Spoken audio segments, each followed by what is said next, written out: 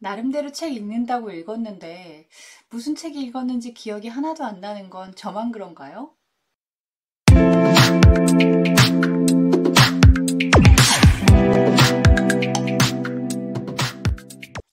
안녕하세요. 캐리입니다.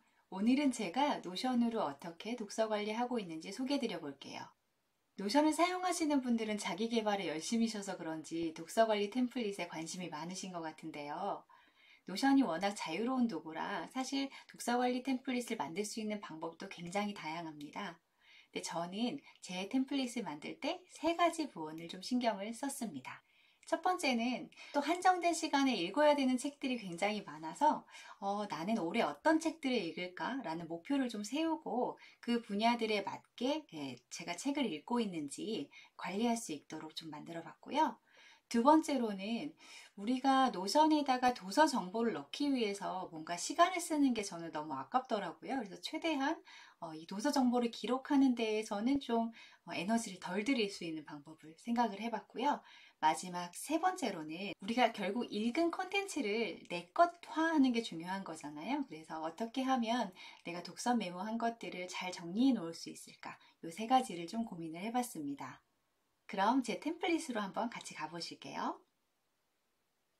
첫 번째 섹션은 저의 독서 에너지를 관리하기 위해서 좀 만들었어요. 어, 저는 강사로 또 콘텐츠를 생산하는 사람으로서 살고 있다 보니까 제 전문 분야의 책들을 좀 많이 읽어야 되거든요. 그래서 어, 떤 카테고리의 책들을 1년에 몇 권 정도 읽을지 목표를 좀 세우고 있고요. 또 이런 책만 읽으면 너무 또 사람이 건조해지기 때문에 예, 틈틈이 또 소설이나 예, 다른 부분들도 챙겨서 읽으려고 하고 있습니다. 그래서 첫 번째 보시는 파트는 화면에서 보시는 것처럼 어, 저의 카테고리별 독서 목표들을 좀 보여주고요. 어, 사실 이걸 처음에 그릴 때는 이렇게 표로 그렸어요. 그래서 표에서 보시는 이 카테고리들이 이렇게 있고요. 제가 숫자로 입력한 건 요 목표예요. 그래서 각 카테고리별로 1년에 어느 정도 책을 읽을지, 예, 올해는 제가 124권 정도 읽을 목표를 좀 세웠네요. 예, 그리고 나머지 이 두 개는 자동으로 계산될 수 있게끔 좀 만들어 놨어요. 그래서 내가 완료한 도서는 몇 권인지, 그리고 그러면 이 카테고리에서 남은 도서가 몇 권 정도 있는지, 그러면 달성률을 좀 눈에 보이게 이렇게 표기하면 어떻게 되는지, 이런 구성으로 되어 있습니다. 네, 캐리는 독서 중이라고 되어 있는 두 번째 섹션에서는 현재 제가 읽고 있는 책들을 전체적으로 보여줍니다. 두 번째 섹션의 데이터베이스는 예스24를 통해서 클리핑을 해서 만들고 있고요. 예스24에서 클리핑을 하게 되면 status 없음이라는 공간으로 책이 들어오게 돼 있어요. 그럼 이 책들을 아 이제 내가 나중에 읽어야겠다 하면 이쪽으로 옮기시고 또 읽는 중이다 하면 읽는 중 쪽으로 옮기시게 되면 자동으로 어, status 태그가 변경될 수 있도록 그렇게 만들어 놨습니다. 제가 예스24에서 책을 클리핑을 하는 데에는요, 예, 책 이미지랄지 이런 것들을 이제 하나하나 가져오는 게 좀 번거로워서고요. 이렇게 예스24에서 노션 웹 클리핑 기능을 사용하게 되면 이런 식으로 들어오게 됩니다. URL이 들어오고요. 사진 이미지, 그리고 내용들도 예, 들어오게 돼서 저는 사실 나중에 굳이 예스24에 다시 가지 않더라도 화면에서 보시는 것처럼 목차나 이런 대략적인 내용들을 다시 볼 수 있어서 이게 좋더라고요. 그래서 이런 식으로 관리하고 있고요. 참고로 저는 사실 오랫동안 교보문고 예, 회원이기는 했었는데 왜 예스24를 쓰냐면요. 클리핑을 했을 때 이 body 안에 들어오는 내용이 예스24가 조금 더 책의 정보에 예, 좀 집중돼서 내용이 나오더라고요. 그래서 예스24를 쓰고 있습니다. 오른쪽의 섹션은 독서 자산 창고라고 해서 제가 이렇게 읽었던 책들 중에서 어, 난 요건 좀 정말 정리할 만큼 좋았던 책이다 라고 생각하는 것들을 북리뷰 형태로 정리하고 있는 공간입니다.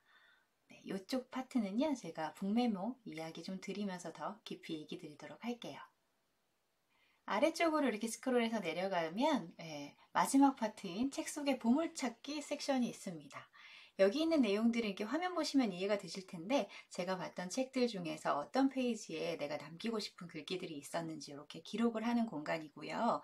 이렇게 별도로 데이터베이스화해서 관리하는 것은 사실 위에서 이 책 페이지 안에다가 사실 메모를 하셔도 되긴 한데 그렇게 했을 경우에는 하나하나 책을 좀 클릭해야지만 살펴볼 수 있게 돼서 나중에 정말 정작 제가 그 자료를 찾아야 될 때 어디 있는지 잘 알기가 어렵더라고요. 그래서 저는 이렇게 보일 수 있게 예, 책 메모를 좀 하고 있고요. 특히나 저는 중요시 여기는 게, 어, 책 내용을 많이 적어 놓는 것보다는 그 책을 기억할 수 있는 파트 정도만 적어 놓고 페이지를 남겨 놓으면 나중에 필요할 경우에는 좀 앞뒤를 다 같이 읽으면서 context 이해를 좀 할 수 있을 것 같고요. 그보다는 책을 읽으면서 제가 하게 된 생각, 예, 이런 생각들을 더 집중적으로 적습니다. 이 생각들은 나중에 지나고 나면 휘발돼서 잘 떠오르지 않더라고요. 그럼 제가 실제로 어떻게 저의 독서관리 템플릿을 쓰고 있는지 좀 흐름을 전체적으로 보여드릴게요. 어, 제가 처음으로 책을 담기 시작하는 공간은 바로 이 book list라는 데이터베이스 공간이거든요. 그래서 저는 예스24에 가서 제가 원하는 책을 검색합니다. 어, 최근에 강원국 선생님께서 책을 또 내셔서 이 책이 한번 궁금하네요. 이렇게 책을 검색하고 나면 노션 web clipper를 통해서 클리핑을 하게 되고요. 네, 이렇게 클리핑을 하면 책 제목과 함께 예스24가 이렇게 뜨는데 뒤에 파트는 좀 지워버리고요. 그리고 어떤 데이터베이스에 이 페이지를 클리핑할 것인지를 결정하면 됩니다. 그래서 저는 workspace는 여기고요. 데이터베이스는 아까 book list라고 말씀드렸는데 혹시 어, 처음에 설정할 때는 이제 저게 제대로 안 나올 수 있기 때문에 데이터베이스 명칭을 검색해 주시면 됩니다. 가끔 보면 이렇게 리스트에 나오는 것에 어, 안 뜨는데 해서 어, 데이터베이스를 못 찾으시는 분들이 계시는데 그럴 경우에는 수기로 그 데이터베이스에 이름을 넣어주시면 바로 검색이 됩니다. 그래서 예, 그 이름으로 설정을 해주시고요. 페이지를 저장합니다. 네, 이렇게 저장해서 페이지로 오게 되면 저의 book list 공간에 이 책이 들어오게 되고요. 네, 아마 이미지까지 좀 가지고 오느라 시간이 좀 걸리는 것 같네요. 가져온 책이 이렇게 잘 스테이터스 없음에 들어왔네요. 네, 이렇게 가져온 책을 저는 이제 내 상태에 따라서 옮겨줍니다. 네, 앞으로 꼭 읽어야겠다 하면 읽을 것으로 옮기고요. 그러다가 읽게 되면 읽는 중, 다 읽었다 하면 완독으로 이렇게 움직이시면 될 것 같고요. 어, 파킹은 아, 내가 좀 관심 있어서 담기는 했지만 현재는 좀 읽을 우선순위가 좀 급하지 않구나 하는 것들일 때 이렇게 담아놓고요. 네, 평상시에는 이렇게 숨김을 해서 안 보이게 해두기도 합니다. 읽기 시작하면 이렇게 읽는 중으로 옮기고요. 읽는 중일 때까지는 사실 저는 이 페이지 안에 정보들을 열심히 기록하는 데에는 사실 시간을 별로 쓰지 않습니다. 그래서 비로소 다 읽었을 때 이때 이제 이 페이지를 클릭해서 어, 이 책의 카테고리들을 좀 부여해 주고요. 이 책은 글쓰기겠네요. 그리고 저자 정보도 입력을 해 놓습니다. 이제 제가 다 읽은 책 정도 돼야 이런 시간을 쓰는 게 좀 의미가 저는 있는 것 같아서요. 그리고 완독일도 표기를 해줍니다. 여기에 지금 완독일을 표기를 하게 되면요. 제가 자동으로 독서 목표랑 연동되게 해놨어요. 그래서 독서 카테고리에서 완독된 도서의 숫자를 세게 돼서 지금 화면에서 보시는 것처럼 글쓰기에 독서량이 하나 더 올라가게 되어 있습니다. 그리고 완독하면 또 한 가지 하는 작업 중에 하나가요. 아, 정말 이 책이 올해 나의 기억에 남는 책일까? 이런 것들을 좀 표기를 하기도 하고요. 네, 이렇게 표기를 해놓고 나중에 올해의 책만 또 필터링을 해서 볼 수 있기 때문에 만들어 놓은 공간이고요. 어, 이 책을 북리뷰를 해야겠다 하면 북리뷰 페이지를 별도로 만듭니다. 그래서 책 제목을 또 쓰긴 싫기 때문에 제가 위에서 복사를 해서 이렇게 나는 말하듯이 쓴다라고 붙여 놓으면 네, 이렇게 페이지가 하나 생성되고요. 그렇게 생성된 페이지는 옆쪽에서 예, 저의 독서 자산 창고에 book review 페이지로 들어가게 됩니다. 책을 읽고 있는 중에는 제가 가장 시간을 많이 보내는 공간은 이 책 속의 보물찾기고요. 책을 읽다가 마음에 드는 구절이 나오면 페이지와 함께 기록을 합니다. 네, 데이터베이스는 제가 book list와 연동이 되게 다 만들어 놨어요. 그래서 아까 어, 강원구 선생님 책을 이렇게 말하듯이 쓴다 이렇게 검색을 하면 그 책이 나오게 되고 예, 필요한 페이지를 적고 메모를 하고 아까 말씀드렸죠. 아이디어가 더 중요하다고요. 그래서 아이디어를 적습니다. 그리고 키워드까지 이제 붙일 수 있으면 붙입니다. 그리고 이제 여기까지 붙인 다음에 한 번씩 이렇게 보면서 아 내가 내 컨텐츠에 좀 사용할 내용들이 뭐가 있지 해서 사용하게 되면 저는 이렇게 다가 뭐 블로그에다가 그요 글을 인용해서 쓴다든지 하면 이런 표기들을 좀 해놓고 있고요. 제가 이쪽에 메모일을 자동으로 생성되는 날짜를 좀 넣어놨어요. 언제 무슨 메모를 했는지 그 키워드가 뭐였는지 이런 게 생각이 잘 안 나기도 해서 대략 지난달에 쓴 것 같은데 뭐 이런 것들이 필요할 때가 있더라고요. 그래서 나중에 메모일로 또 예, 정렬해 볼 수 있게끔 이런 메모일도 넣어놨습니다. 그럼 마지막으로 북리뷰를 좀 가볼게요. 네. 북리뷰는 제가 모든 책을 하는 건 아니고 정말 읽은 책 중에서 마음에 드는 책만 골라서 한다고 말씀드렸잖아요. 페이지가 어떻게 생겼는지 한번 제가 여러 가지 형태를 보여드릴게요. 어, 일단 제가 게으르지만 콘텐츠로 돈을 잘 법니다. 이 페이지는요. 그냥 자유롭게 제가 쓰고 싶은 이야기들을 좀 썼고요. 실제로 여기에 써있는 글들은 예, 그대로 복사를 해서 어, 저의 브런치에 북리뷰를 좀 남기기도 했습니다. 이렇게 제가 쓰고 있기도 하고요.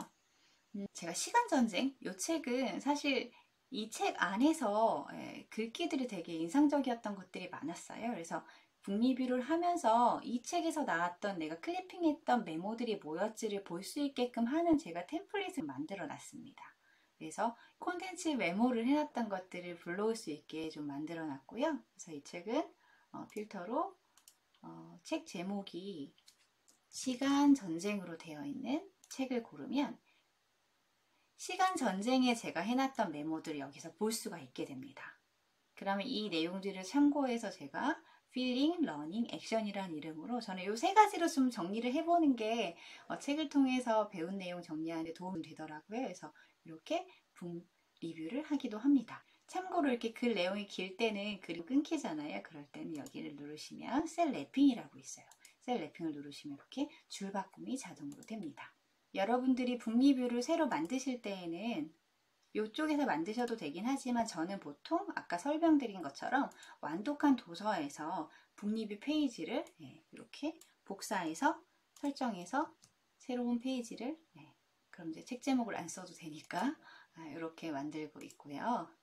이렇게 만든 책에서 이렇게 여시면 제가 템플릿을 1번, 2번 이렇게 만들어서 넣어놨어요. 그래서 1번은 아까 느낀 점, 배운 점, 아, 그리고 실천해보고 싶은 것, 그리고 그동안 예, 북메모를 해놨던 것들을 한 페이지에서 볼 수 있게끔 하는 템플릿이고요. 두 번째 템플릿은 자유양식이에요. 그래서 여러분들이 이 책을 읽으시면서 하셨던 생각들을 자유롭게 또 쓰실 수 있게끔 그런 템플릿 넣어놨으니까 예, 제 템플릿을 그대로 사용하셔도 되고 아니면 여러분들이 또 새로 만들기에서 새로운 템플릿을 만드셔서 넣으셔도 됩니다. 네, 제가 지금까지 어떻게 쓰고 있는지를 좀 설명드렸는데요.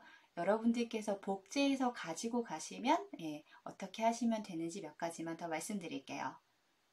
네, 캐리의 서재 전체를 복제해서 가셔야 되고요. 가시면 reading goal이라는 페이지가 있습니다. 여기에 표보기 상태에서 보시면 카테고리가 있잖아요. 이 카테고리를 여러분이 원하시는 것들을 좀 바꾸시고 이 숫자 목표도 바꾸시면 될 것 같아요. 그리고 나머지는 그냥 두시면 예, 자동으로 계산되는 방식이니까 쓰시면 될 것 같고요. 요 위에 이제 그 타이틀 명칭은 네, 여러분이 바꾸셔도 요 계산되는 데는 지장이 없습니다. 그래서 그렇게 쓰시고요. book list는 여러분들의 책으로 바꾸셔야 되니까 뭐 전체 다 블럭 잡으셔서 삭제하시고 여기다가 새롭게 이제 S24에서 혹은 뭐 교보에서 클리핑해서 쓰시면 될 것 같고요. 네, 북 리뷰나 어, 이렇게 콘텐츠 메모한 것도 네, 전체적으로 블럭 잡으셔가지고 삭제하셔서 여러분들이 새로운 내용을 넣으시면 될 것 같습니다.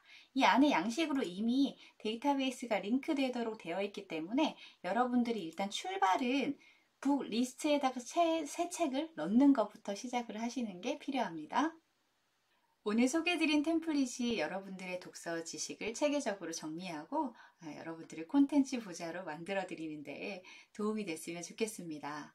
아, 역시나 오늘 예, 보신 템플릿은 영상 더보기란에 링크를 남겨드릴 테니까요. 복제하셔서 쓰시면 좋을 것 같고요. 혹시 쓰시다가 궁금한 점은 언제든지 댓글 남겨주세요. 여러분들이 많이 도와주셔서 저희 채널이 드디어 구독자 100명을 돌파했습니다. 네, 처음에 참 걱정이 많았는데요. 그래도 저희의 고민을 예, 잘 알아봐 주시는 분들이 저희랑 함께 해주셔서 정말 정말 감사한 마음입니다.